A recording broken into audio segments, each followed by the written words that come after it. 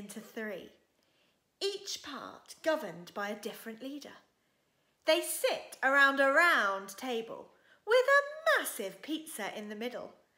However, this pizza is yet to be topped. And today they're discussing which topping is the best topping for this pizza and the type of topping that the world needs to eat. I think that the pizza should be topped with lots of meat like pepperoni and ham and sausages and minced beef. Oh, how wonderful. No, no, no, we can't have that on pizza. Instead, we should be putting vegetable toppings on this pizza, such as spinach and onions and, uh, well, sweet corn and uh, peppers and uh, mushrooms and, you know, all the other green healthy things. We need to make sure that we are eating healthy. What? I think the pizza should just be topped with chocolates and sweets. I mean, I cannot imagine anything better. Everyone loves chocolates and sweets. That is definitely what should be on the topping for this pizza. The pizza has been listening to the debate the whole time and stands up and decides to have their say too. So surprised by a talking pizza, the leaders stand up and listen in. The pizza demands that the audience decide a vote too. And so the pizza asks the audience, before a decision is made, the set is plunged into darkness. There is a kerfuffle, and when the lights come back on, the pizza has disappeared.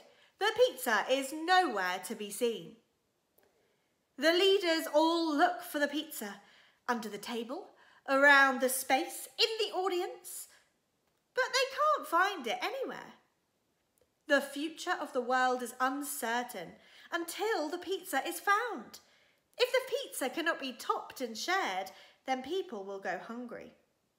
In enters the pizza inspector, who might be played by a puppet.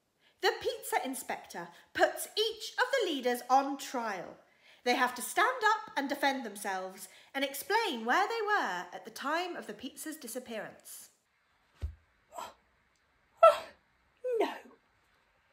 Me. Ah! I think it was you. It wasn't me. It was you. It had to be you. Me? It was not me. No, I would not steal a pizza. Not me. Oh. In a big gathering, it is ascertained that all the leaders had motive, but the leader who switched off the light must have done it. The finger is pointed at the leader closest to the light switch. Eventually, one of the leaders admits to turning off the light, but not to stealing the pizza. It was an accident. The audience is asked who they think is guilty. A guilty leader is found, and the pizza inspector debates what to do. As the punishment is being decided, the pizza reappears. It had just gone for some fresh air. The pizza pauses the scene and speaks directly to the audience.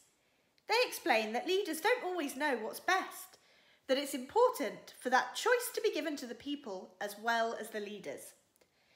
They ask the audience what should be done, they also suggest that sections of the pizza be taken to each part of the world and voted for by the people, and that perhaps the toppings could be used together too. So the pizza is split into three, and each leader vows that people should be free to choose their own toppings, whatever they may be. The pizza inspector thanks the audience for their help and suggests a pizza party. Pizza party! Woohoo! Songs are played and everyone is rejoicing in a unanimous decision.